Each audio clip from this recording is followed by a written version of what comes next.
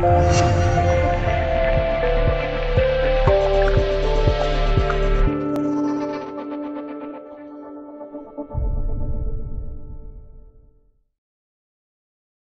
秋说：“茫茫人海中遇见便是缘，相守即是情。求点击上方关注我，让我们成为永远的朋友。”没有经历过抑郁症折磨的人，根本体会不到他的痛苦有多深。二零一六年九月十七日，得知娱乐界明星乔任梁因抑郁症去世，当时心里拔凉拔凉的，一个劲的在心里感叹道：“哎，又一位因抑郁症自杀的明星离开了人世，可惜啊！”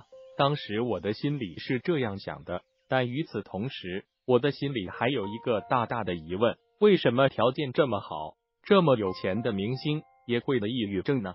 干嘛这么傻，一定要自杀呢？当时的我想不明白，也不知道抑郁症所带来的痛苦有多严重。我的认识还停留在自我肤浅上的一种认知上。直到有一天，我也不幸患上了重度抑郁症、重度焦虑症的时候，我才彻彻底底的明白，原来抑郁症所带来的痛苦，真的可以用生不如死来形容。也终于明白，一个人的抑郁症其实跟他有钱有权一点关系都没有。说白了，得抑郁症的人其实跟其性格、思想、认知、环境有直接的必然关系。比如像那些有钱有权利的人，为什么也会得抑郁症？这就关系到这个人是不是性格过于追求完美了，亦或者是不是认知、思想上出现了偏差。又或者跟其成长环境以及工作压力等有关系。总之，所有患抑郁症的人都是可以找到原因的。一个人的抑郁不可能没有原因的，所以这也正应了那句话：凡事皆有因果关系。现在很多学生年纪轻轻就得抑郁症的也有很多，所以对于二十一世纪来说，心理疾病将仅次于癌症之后第二或者第三的慢性心理疾病。曾经就有人把抑郁症描绘成为不适的精神癌症，对此我深表赞成这个说法。抑郁症就像你种瓜得瓜的道理一样，有些人天生就是那种忧郁性质的人格，那么这种人的抑郁症的概率还是挺高的。只要生活中遇到一些刺激和打击，如是没有一个正确的认知能力，碍于面子也不向人倾诉的话。是很容易陷入在自我情绪的障碍中，引发抑郁症的忧郁气质的人格，他们的幸福感也是极其低的。别人能快乐的事情，他们却表现得非常淡定，就像一个没有七情六欲的石雕像一样，表情生硬。与此同时，他们的快乐感就像彩虹一样，一年也难得有几次。他们在这样一种自我封闭的性格里，忧郁气质的人。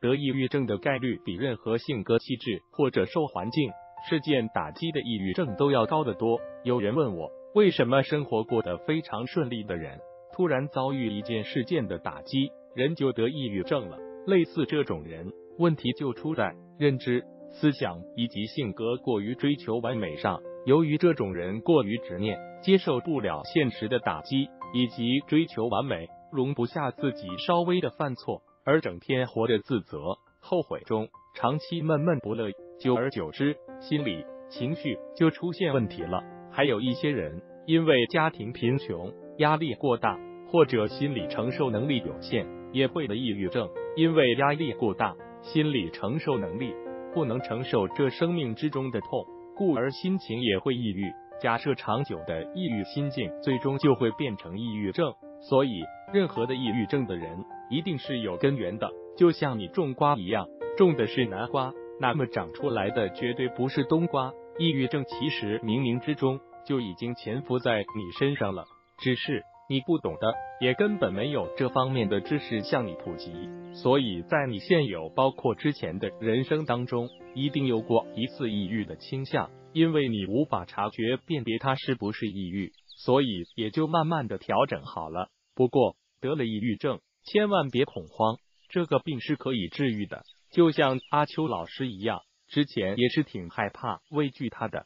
当与之相处久了，知道他发病的原理和找出自身存在的问题，那么他就不再变得令我可怕了。因为你之所以害怕他，是因为你内心还没有真正接纳他、排斥他，没有做到与之和谐共处中。所以你久久都不能恢复。尽管抑郁症很折磨人，但是我们的心态才是最重要的。几乎可以说，心态决定了你的抑郁症能否好的至关因素。抑郁症的时候，你能工作还是去工作？不要在意他人对自己的看法，你内心知道自己的状态是这样。那么，即便工作做不好，你也尽力了。一定要有原谅自己的一个心态。该运动就去运动吧。如是前者实在做不了，也不勉强；但后者一定要逼迫自己去做。再者，要有自己的社交。毕竟人抑郁了，若长时间没有与人交往，心就会僵硬。所以社交回归到一个正常的生活中